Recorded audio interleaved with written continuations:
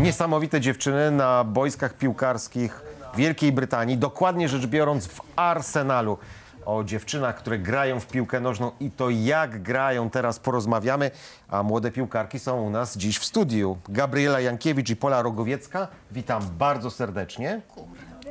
Oraz trenerka piłki nożnej w Diamonds Academy Sandra Wachowicz. Dzień dobry. Dzień dobry. Dzień dobry. Jak znalazłyście się w Arsenalu? Słynnym londyńskim Arsenalu. Nasze trenerki e, zaczęły współpracę z Arsenalem, były na stażu trenerskim. E, i ten staż zaowocował tym, że zostałyśmy zaproszone na taki piłkarski kamp, właśnie wszystkie zawodniczki nasze i poleciałyśmy do Londynu, żeby tam e, uczyć się, żeby uczyć się i od trenerów, uczyć się od całej infrastruktury, zobaczyć jak wygląda od podszewki Londyn i e, najlepsza akademia, jedna z najlepszych akademii w Europie. Co wam się najbardziej podobało? Jak były treningi. Jak były tre... I to jest odpowiedź prawdziwego piłkarza, prawda? Jak były treningi. A co było fajnego na tych treningach? Najlepsze były mecze. I to jest odpowiedź jeszcze lepszego piłkarza. Nie tylko treningi, ale mecze. Ja sobie obiecałem, że nie zadam moim zdaniem w tym momencie już najgłupszego pytania. A najgłupsze pytanie brzmi, dlaczego w ogóle dziewczyny grają w piłkę nożną? Myślę, że ten etap rozmowy nawet w Polsce mamy już chyba za sobą. Tak, dokładnie. E, sukcesy reprezentacji młodzieżowej U17, Mistrzostwa Europy, e, rozwój piłki e, na różnych szczeblach, tak, bo mamy i Ekstraligę, pierwszą, drugą, trzecią, czwartą ligę. Bardzo dużo młodzieżowych jest też rozgrywek, więc po prostu dziewczyny grają, bo to kochają. A jak trafiłaś do klubu? Do Akademii Diamentów? Trafiłam do klubu tak, że mama zaproponowała mi granie. y, mogłam sobie wygra, wygra, wybrać klub, w którym będę grać. I mama pokazała mi właśnie Diamonds Academy i od razu mi się spodobało. A co się takiego spodobało w Diamonds Academy? Y, Treningi były fajne, dziewczynki, z którymi się tam y, grałam i trenerki. A twoja droga do klubu?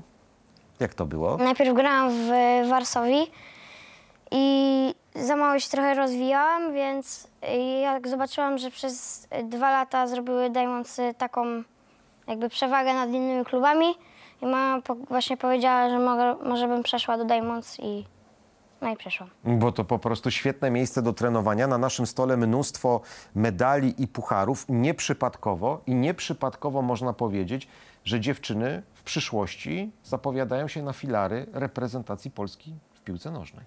E, Widząc ich zaangażowanie na treningach, pasję, którą one mają, jestem przekonana, że będą grały w młodzieżowych reprezentacjach Polski i swoją ciężką pracą sprawią to, że polska reprezentacja kiedyś będzie odnosiła sukces.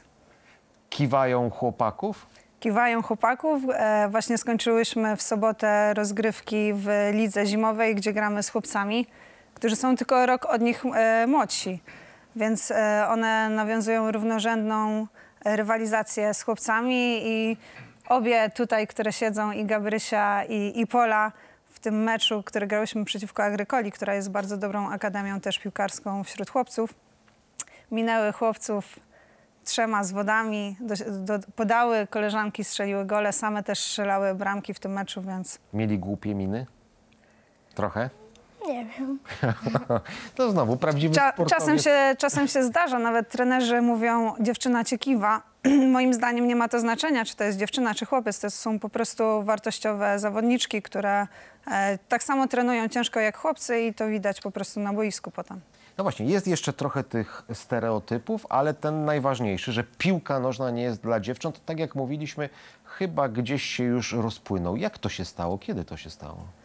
E, Tak naprawdę piłka kobieca w Polsce jest od lat 80.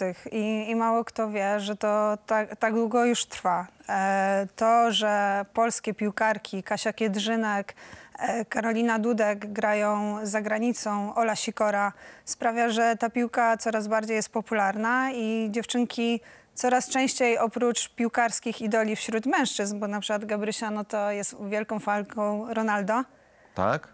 Ronaldo, najlepszy. Nie Messi. A dlaczego Ronaldo? Moim zdaniem lepiej gra. Trochę.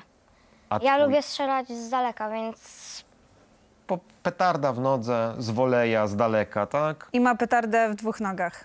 A na jakiej pozycji grasz? Na prawym albo lewym skrzydle. Prawe albo lewe skrzydło, Eee. czyli do środkowania lecą. Tak, nasza lewa noga na- najczęściej na prawym skrzydle i schodzi do środka i, i strzela po długim rogu. Trochę jak Arjen Robben. A wie pani, co jest dla mnie najbardziej ujmujące w tym wszystkim? Kiedy wszedłem na stronę internetową, żeby poczytać sobie o klubie, zobaczyłem, że jest coś takiego jak kodeks, jakby dekalog, zarówno piłkarki, o tym, jak ma się zachowywać, jak kształtować swój charakter, po co uprawia sport, ale też dla rodzica.